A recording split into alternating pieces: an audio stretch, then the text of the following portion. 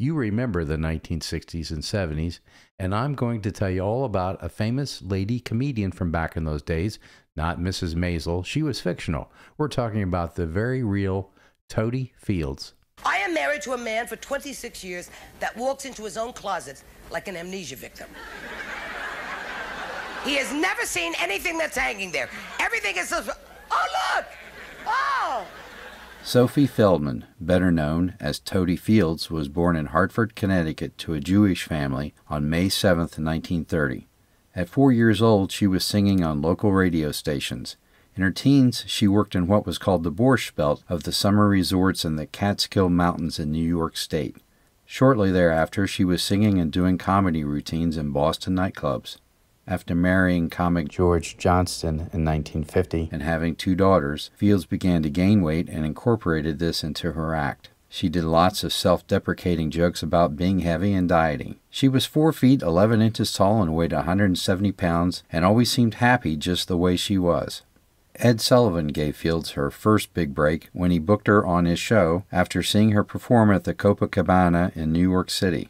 She made many appearances on his show, as well as The Mike Douglas Show, The Merv Griffin Show, and The Tonight Show. Other TV work included The Carol Burnett Show, Here's Lucy, Rowan and Martin's Laugh In, and on the Drama Medical Center.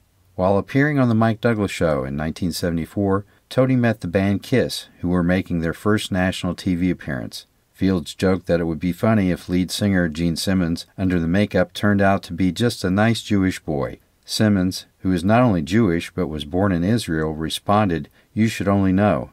Simmons and Fields became friends and remained friends until her death. Fields also appeared on several TV game shows in the late 1960s and 1970s, including Hollywood Squares and Tattletales with her husband.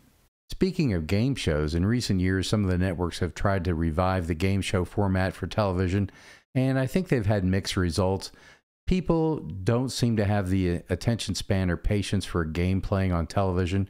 But back in the day, I'll tell you what, that was the greatest thing.